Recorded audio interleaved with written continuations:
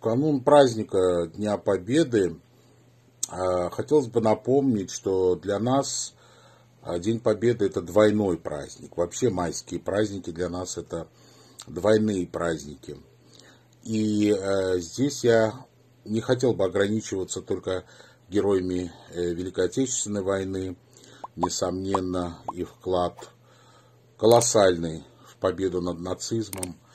Но с начала 90-х нацизм пришел в наш регион со стороны Азербайджана, начиная с сумгаитских событий. Я хотел бы вас познакомить с эстонцем по прозвищу Викинг, который прошел три Карабахские войны, три Арцахские войны.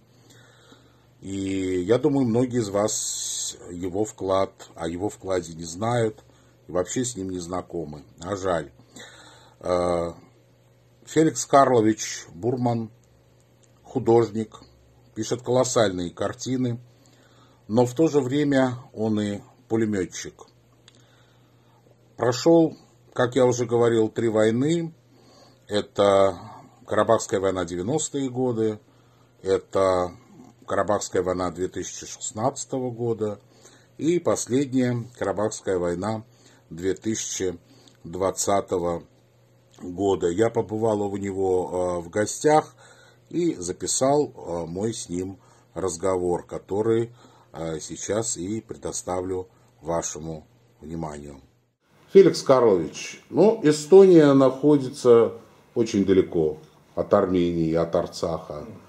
Ну, понятно, что в начале 90-х, в 90-м году, в 89-м году это была еще одна страна, да, Советский Союз. Но, тем не менее, Эстония, Прибалтика, Армения, Закавказье. Как получилось так, что вы, эстонец, вдруг оказались в Арцахе и решили э, воевать э, за армян Арцаха, приехав из северной страны в эту южную страну?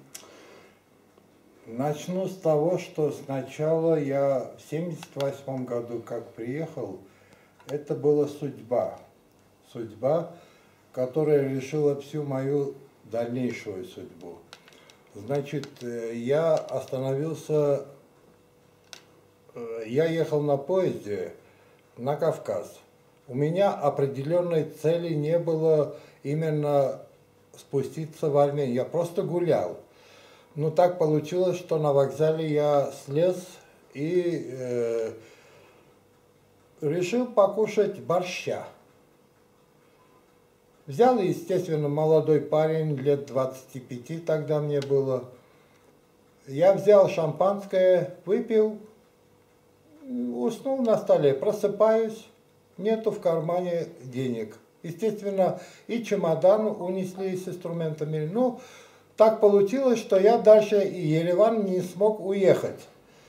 Просыпаюсь и пешком из вокзала до кинокомитаса, я пешком прогуляясь, э, дошел до третий трест, строй трест. Поднялся к начальнику отдела кадров, надо было куда-нибудь устроиться, поработать, чтобы заработать и двинуться дальше. К моему счастью или несчастью, в метро был обвал, погиб э, молодой парень. Тогда я решил, нет, я в метро не буду, а пойду на стройку лучше. Жизнь-то одна. Поступил. У нас есть три сына, дочка, пять внуков. Я, значит, первую войну, почему я пошел на войну? В, моей, э, в моем э, сознании есть такое понятие.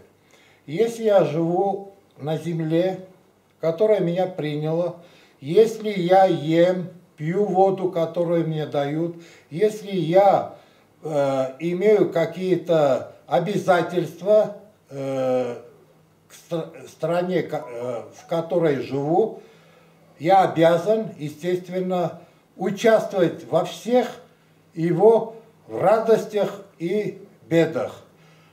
Значит, и так получилось. В 1988 году я работал в заводе «Аракс». Первый раз, когда был в Сумгаит, Значит, э, я работал охранником, и вызывает меня тогда генеральный директор Туманян. Значит, вызывает, говорит, Феликс Карлович, никогда директор охраннику не скажет, например, Феликс Карлович по имени-отчеству. Ну, вызвали бы и вызвали. А так неофициально.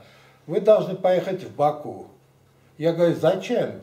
У вас же есть э, снабженцы, говорит, у нас там застрял э, очень важный контейнер, э, вы должны доставить его в Ереван. Я говорю, ну, раз вы говорите, я поеду, привезу. Приезжаю, а они мне обещали премию дать, когда я это все сделаю. Но я приезжаю дома, взял денег и э, поехал в Баку.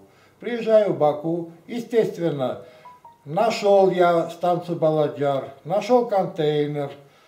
Первая встреча с азербайджанцами у меня случилась таким образом. Когда я контейнер нашел, я должен был отправить по адресу Ереван. Я не знаю ничего, что творится, пока без неведомо мне все это. Я, э, говорят, куда следует контейнер, я говорю, станция Ереван. И смотрю уже 3-4 здоровенных ребят, готовятся меня бить. Я взял железо, и я говорю, вы сейчас увидите, как умирает армянский эстонец. Тогда меня не тронули увидели, что я не струсил. Не, не армянин еще. Не да? армянин еще, не тронули. Я от мантража три дня не знал, не, не мог себе найти место, искал. Это какой год был? Это был э, 88 год. Это начало событий. Начало Сунгаита. Еще землетрясения даже не было. Угу. Я, значит, э, я так, э, подходит ко мне старый азербайджанец, по плечу, не бойся, сынок, мы тебя не тронем. Отправили мой контейнер, я три дня по городу гулял. Я из Еревана тогда картину написал «Арарат». Три, два Арарата, а, а, армянская тема. Значит, э, там тогда э, стоял памятник Степана Шаумяна.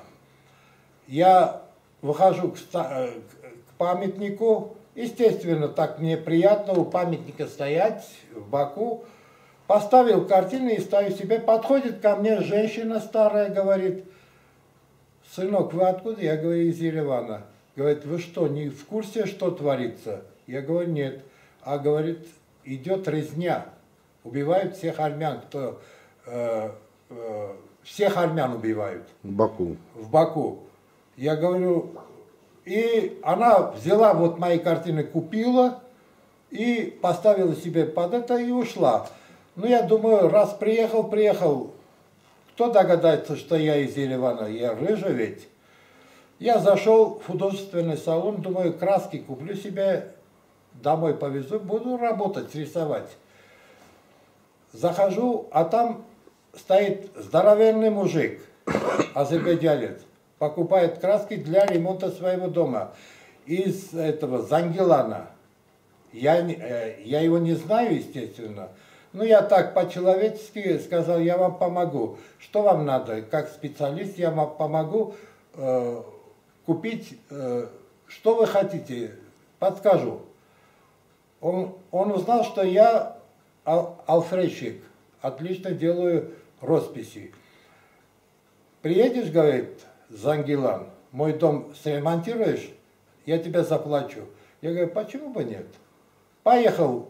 Я риско, э, на все шел с риском, с большим, зная, э, понимая, что это так.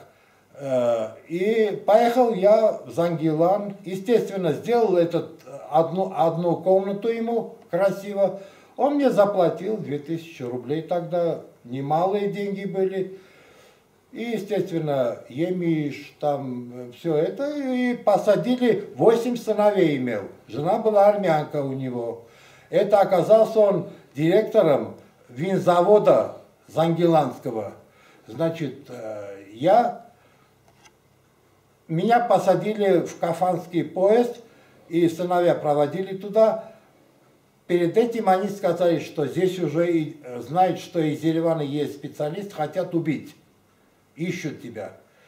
Посадили и сказали, устройся так под окном, чтобы тебе ни один камень не попал. Тогда ломали все эти окна, поезда, вот которые... Да, я тоже ехали. помню эти события. Да. И, короче говоря, я сел под окна и летят камни на меня. Я ехал, пока доехали до Кафана, захожу, смотрю, уже все обрадовались, что я приехал.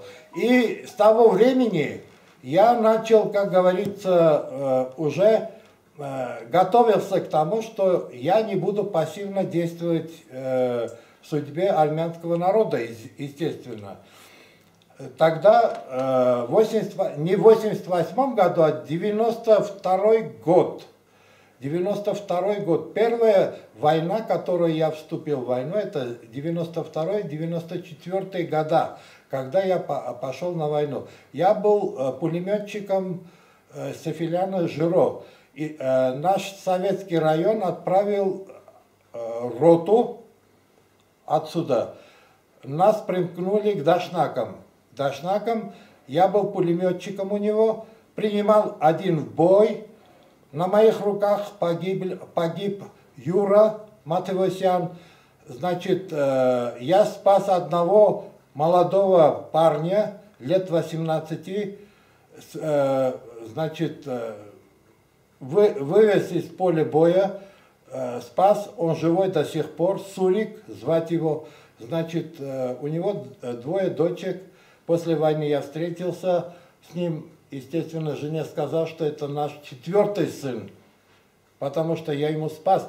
В нем было три осколка под сердцем, в ребре и э, под легкими. Значит, э, последнюю сняли недавно из-под сердца. Значит, э, это первая война, в котором я участвовал. Мы, э, Мартакерский район, значит, принимали бой у Мудлу Паправент.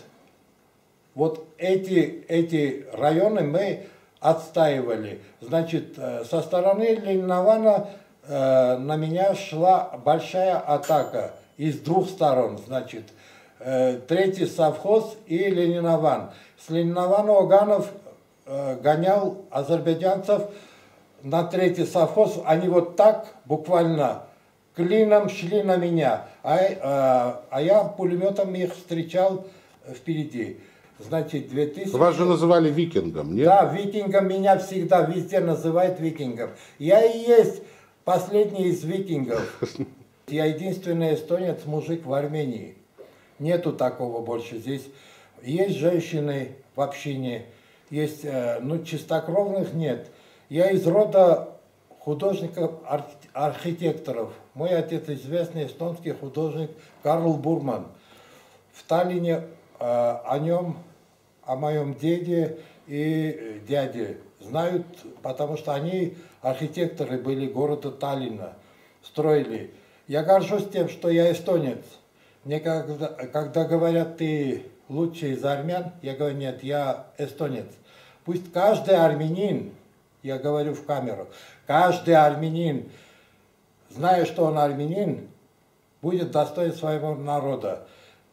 Есть такие уроды, которые предают сегодня, продают друзей. На войне очень много было фактов, которые за 400 долларов, за несколько грошов продавали друзей, наши места давали врагам.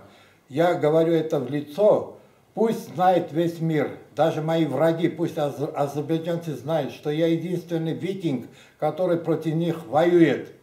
Моя Эстония не воюет против вас, но я воюю, потому что я крестоносец, я армянин, я эстонец и армянин.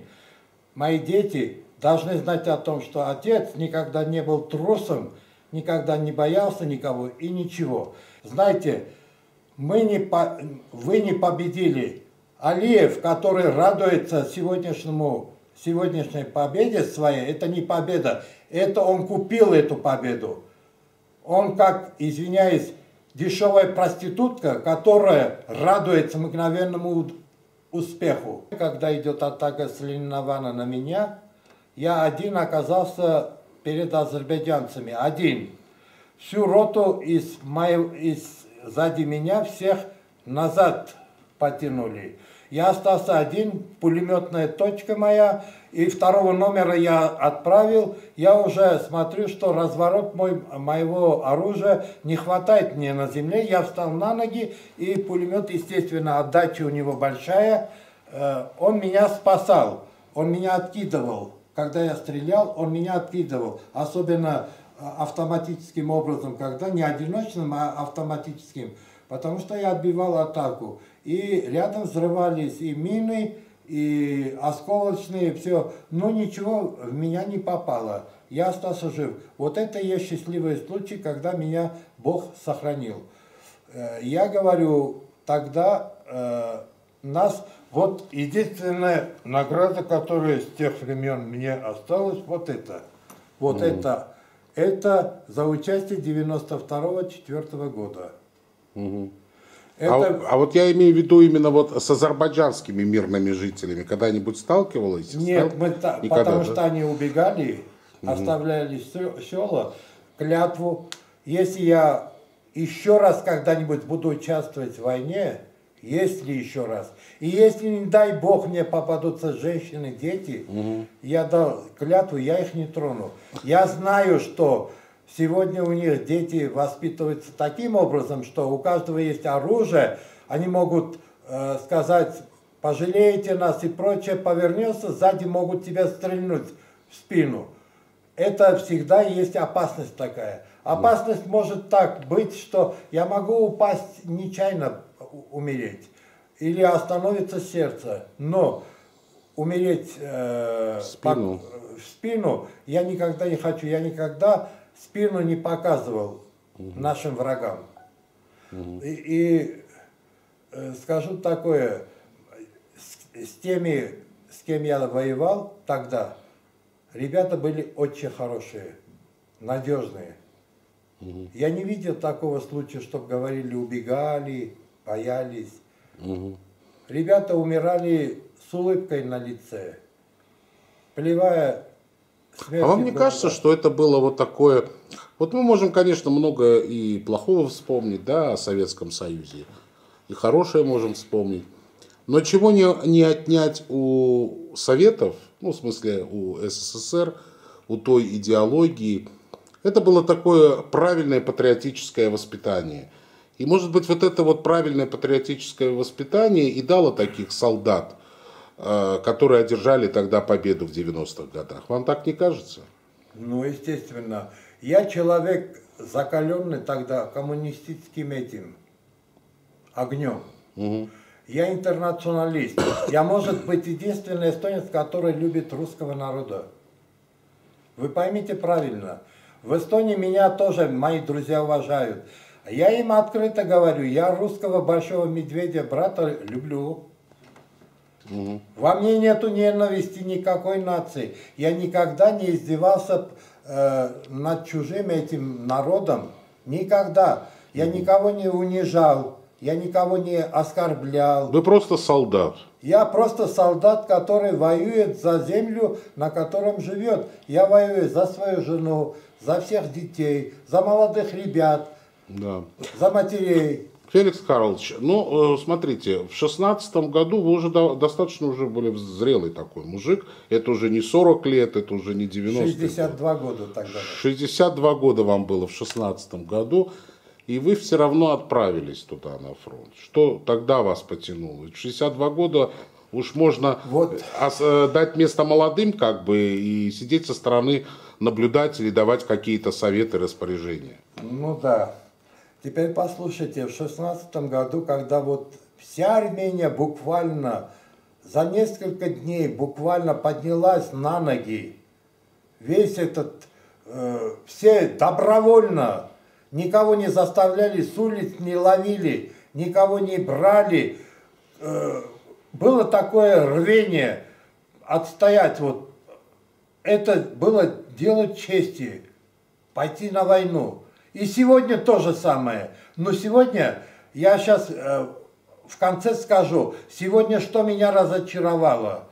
А вот тогда, в шестнадцатом году, я с рвением пошел на войну.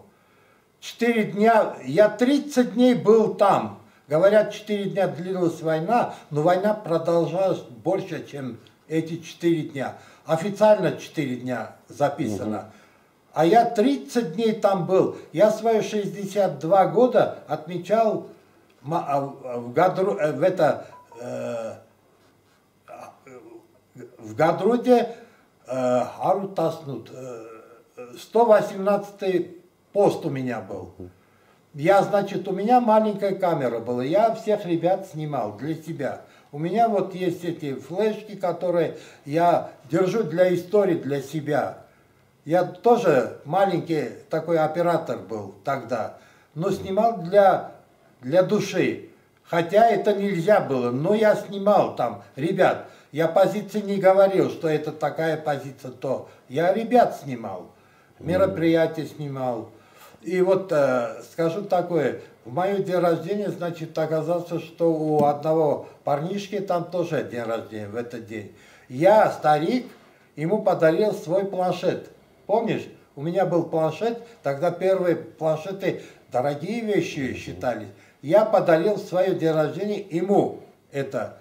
Э, мне было очень приятно, а я по-боевому это провел. Я тогда свое день рождения отомстил за Салуяна Керама, которого голову отрубили. Это езид, да, езид, солдат? Да. Был. Я, значит, днем раньше, значит, э, э, снял э, на позициях корректировщика вражеского. Значит, пришел, э, снял второй, смог его потащить, убежал. На следующий день была атака на наши позиции. Значит, но я при, э, прихожу, докладываю командиру части, полковнику там, говорю, вот э, я снял корректировщика, а он по, по-идиотски Э, есть идиоты среди них, извиняюсь, не все же командиры были э, башковитами. Э, принеси мне справку, что ты убил азербайджанца. Я в момент не понял, что он сказал. А потом дошло до меня, когда эстонца... Э, вот. Как до эстонца. Да. Ну, у нас... Э, еще чувство юмора лифт, тоже, да? Лифт, да, лифт поднимается у нас медленно. Не у эстонцев, да? Но, э, скажем так, значит, э, я так э, говорю, вы что, говорю, какую справку, у кого взять? У азербайджанца, что я его убил, и плюнул, ушел. Так я там отслужил свои вот эти, достойно, честное слово, вот, ребята меня везде, я никогда говорю, друзей не предаю, Особенно я это чувствую дружбу на позициях там. Я сегодня тоже состою, э, мстители называется, отряд мстителей, э, ветераны спецназа. Угу. А вот в последней войне, вот вы были, чем отличалась эта война 20 -го года от той войны 90-х годов? Это была не война, это мясорубка была. Нынешняя, это, последняя. Это, это последняя была действительно мясорубка. Людей бросали, молодых ребят э, бросили без подготовки в зубы озеленному волку. На Армению напало 4-5 государств, наемников. Армения один, один дрался Тогда России рядом не было. А вот в Азербайджане говорят, что в 90-х Россия помогала Нет. Армении. Армения один-один про, один воевал против пяти государств. Азербайджана, Турции, Афганистана, Ирак Ира, и, э, и эти сирийские, э, эти, сирийские да, беженцы. Я понял. И вот Не скажу, там. Э, эти наемники, туркоманы, наемники, наркоманы. Да. Против нас они, они кричали Аллах Акбар, эти твари. Я скажу так, мой, мой, наше, мое оружие ни минуты не останавливалось тогда. И слава богу, что не... Но прикончили хоть одну из этих тварей на последней войне? Тот пулеметчик, который скажет, что сколько он уничтожил, он врет. Пулеметчик не может считать своих убитых. Угу. Я стреляю, он там падает. Кто там? От моей пули или от пули моего друга? Он угу. падает. Мой пулемет он косит. Угу. И я не могу считать вот один, как вот в фильме, есть армянский фильм «Коро». Это мой, это угу. мой, это мой. И ставит камни. Так и бывает. Но в, каком, в каком районе были в этот раз? На этот раз мы были Балудя, называется Балудя. Э, это Мартакирский район, да? Гадрут. Гадрутский а, район. район. Разведка, разведка. Угу. Значит, э, я взял одного молодого парня себе под крыло, сказал, вот Эдгарджан, его звали Эдгаром. Я, Эдгарджан, держись меня, вернешься к матери. Держись меня только. Будь рядом. Угу. Что скажу, делай. Тебе не в позор будет. Я тебе плохого не пожелаю. Я э, участвовал, и мы посты держали в Кафане. Вот там, где мы посты держали, действительно были три урода, три командиров. Один Саркис, второй Багдасарян Мартин, и еще кое-кто там был, которые из-за нас, одного носка угу. хотели побить сирийского армянского парня. Я отстоял, я не пустил. Сдай оружие мне, сказали, я говорю, вот тебе. Я никому оружие не сдам. Это правда. Ну вы считаете, что вот эта последняя война была предательская, да? В э, последней войне очень много э, то, что турецкие байрактары э, давили, это факт. Но то, что сидел кто-то с телефоном, давал наши координаты, угу. тоже факт. Тоже факт. И очень многих сегодня ловили этих угу. предателей, которые за несколько долларов угу. продавали наших боевых ребят. Угу. И я скажу так, вы не думаете, что сегодня еще все кончилось. Нет.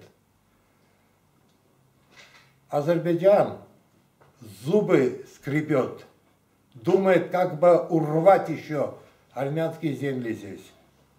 Но ни хрена у него не выйдет.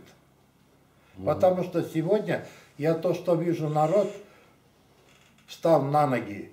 Это так. Я сегодня состав, э, уже э, участвую, значит, есть у меня молодой такой многообещающий парень, Карен Араян. Армия света называется его. Я первого числа с ним буду выходить на улицу. Будем отстаивать армянские права. Недавно вот на 68-ю годовщину мне подарили меч арми... э, времен 812 года. Вон он стоит. Смотри, сзади покажи. 812 года.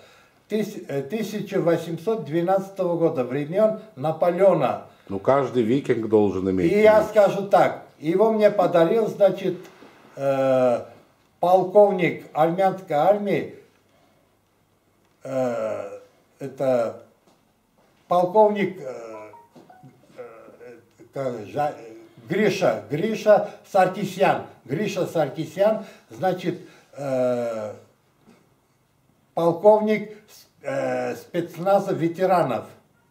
Значит, он мне подарил вот этот меч у, у себя в штабе и сказал, что Феликс Жан, я тебе дарю вот этот меч как достойному борцу за армянского народа. Mm. И я это принял с честью, вот это поцеловал меч и дал клятву, что он будет стоять до последнего вздоха здесь, в доме. Mm. Это не только моя награда, это награда Артурджан и твой, и, и ваш. Это награда всех вас, всех моих боевых друзей. Я тебя считаю тоже своим боевым э, другом. Почему я тебя знаю, второе интервью я тебе даю уже. Да, да. Второе. И скажу одно. Антитопор, который ты ведешь, вот эту программу, действительно очень важный. Феликс Карлович, вам сейчас сколько лет? 68. 68. Вот я вижу на вашей груди, там есть и помимо флага Арцаха, флаг Эстонии. Вы бывали на исторической родине и как давно? Я в том году полупеше, полуавтостопами добрался mm. через Эстонию. Вся Европа под ногами меня была. Начиная с Германии, там Швеции, Норвегии mm. и прочее. Я два раза был в поездках, ну каждый раз. Но у вас есть эстонский паспорт? Есть. У меня mm. недавно мне дали на 10 лет новый эстонский паспорт. Это вы здесь в посольстве да, Эстонии в Армении получили? Я сижу здесь, и мне приносят, дают. Угу. И, и это великая честь, что эстонский, даже президент наш знает меня, угу. э, посол знает меня прекрасно. А, давайте тогда на армянском обратимся. На армянском. Я бы хотел, бы, чтобы вы, как эстонец, прежде всего, да, обратились на армянском языке э, к армянам всего мира. Потому что на русском э, нас понимают определенное число армян, которые, наверное, жили, живут в постсоветском пространстве. А на армянском все-таки большее число армян вас услышат. Вот что бы вы им хотели сказать, вот как гражданин Армении и как эстонец? Բարև ձեզ սիրելի հայեր, սիրելի աշխարհի հայեր։ Խոսքը սուղում եմ բոլորիդ։ Սիրելի հայեր, այսօր մենք Հայաստանում գտնվող եւ օտարազգիներս եւ հայերը պայքարում ենք մի հայ ազգի գոյատևման համար։ Այսօր թե դիվանագիտական աշխարհում, թե հակառակորդ ազերբայջանցիների սահմանները, որ փորձում են գան առաջ, մենք պահում ենք այստեղ։ Ես ես Ես ուզում եմ բոլորիդ ասեմ, սիրելի հայեր, ես սիրում եմ հայազգը, մաքուր հոգով, սրտով, ես մի հոգի եմ էստոնացի Էստոն Հայաստանում, բայց ես կատարում եմ մի ազգի պարտականություն, որ հնարավորություն է ինձ տվել պայքարելու է ժողովրդի հետ կողք կողքի։ Սիրելի հայեր, ես վերջերս Ծիծեռնակաբերդում երթում կերա միջև վերջի շունչս ծառայեմ հայ ժողովրդին, հնարավորին չափ, ինչքան կարող եմ բարին անեմ, ինչքան կարող եմ օգուտ տամ, ոչ թե թալանեմ, այլ օգուտ տամ, ոչ թե դավաճանեմ, այլ պաշտպանեմ, ոչ թե փախնեմ, այլ հաղթեմ։ Ես պայքարելու եմ միջև վերջ ու երթվել եմ, որ հայի կողքին կանգնելով, պայքարելով Ես ոչ մի անգամ թուրքը չի տնա իմ թիկունքը։ Ես աշկերին կնայեմ թուրքի ու կկրվեմ իր այդ տղամարդավարի, երես երես։ Դրա համար ես պատրաստել եմ բացի այն ինչ որ զենք կունենան, ես ունեմ իմ անհատական վիկինգի, վիկինգի հասկացողությամբ իմ